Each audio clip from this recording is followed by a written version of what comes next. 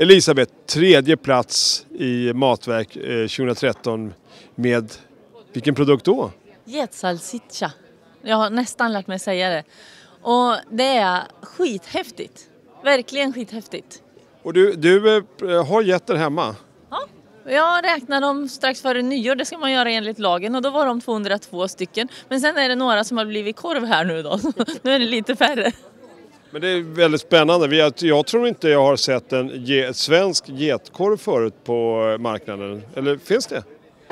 Ja, nu, eller det finns ju inte än då. Nu har vi ju vunnit med en sån. Jag vet inte om det finns. Eh, eller har funnits eller så. Eh, eftersom vi är nya i getbranschen. Men eh, vi tror ju stenhårt på både köttet och korv. Alltså både det här som en skärkprodukt och som ett kött som man kan köpa så småningom då.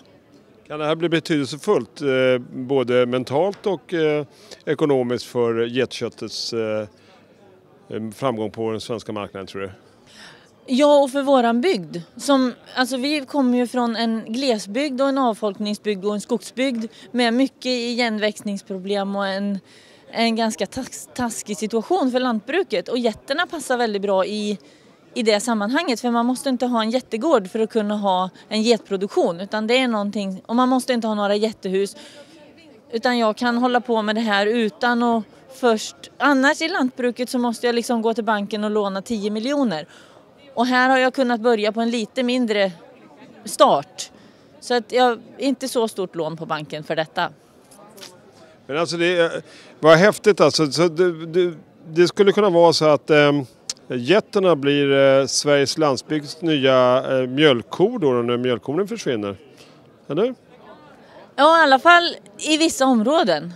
Och eh, nu kräver ju våran, alltså vi har ju också getmjölken så vi levererar ju mjölk till ett mejeri. Och eh, då måste man ju ha mejeriet i närheten och det är ju det vi har. Så nä vårt närområde, visar sig det här funka så kan vi ju få ett kluster av getbönder där vi bor. Och det vore väldigt bra för våran bygd. Vad bra, då kan det bli eh, eh, getkött från flera gårdar i Salsichan framöver. Ja det kan vi alltså jag har ju inte den kapaciteten så jag kan förse hela Sverige med getsalsiccia. Än! Än! Jag ska jobba på det.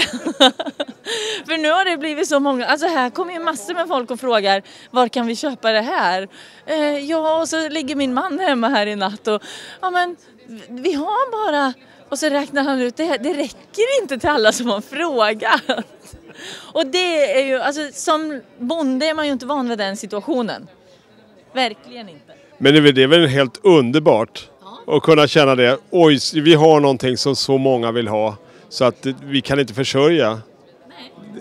Det är som sagt det är en annorlunda situation. Ja, det är jätteannorlunda, alltså det är verkligen jätteannorlunda. Så att det- för oss är detta helt nytt. Och sen får vi mycket frågor hur vi ska hantera och hur ska vi marknadsföra och hur ska vi paketera.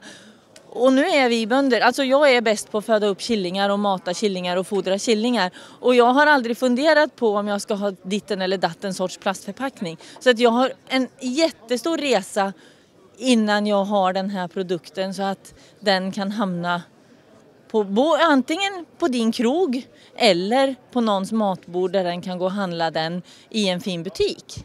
Så det blir jättespännande. Men det, det, då är det ju fantastiskt att det är ett samarbete. Det gör ju resan eh, lite lättare kanske. Ja, och det här priset vi fick med hjälp. Alltså, för via den här tävlingen så får ju vi kontakt med sådana som kan det här. Och det är ju egentligen det största priset för våran del. Att vi får ett belopp och att vi får äran. Men att vi får kompetens, att vi får tillgång till ni som kan är ju jättestor. Alltså det är därför jag är så glad. Att det här är ju liksom yes. Vi, kom, vi, vi kan, klarar vi det inte med det här då är, ju, då är det ju något som är fel liksom. Det är klart ni kommer få ut produkten jag, och jag ser fram emot att få möta en av våra kronjuveler ute i där den hör hemma, på krogen eller butiken, vad, ni väljer för marknad. Så Elisabeth, tack så mycket och, och lycka till och grattis igen! Tack ska du ha! Ska du ha en kram? Ja.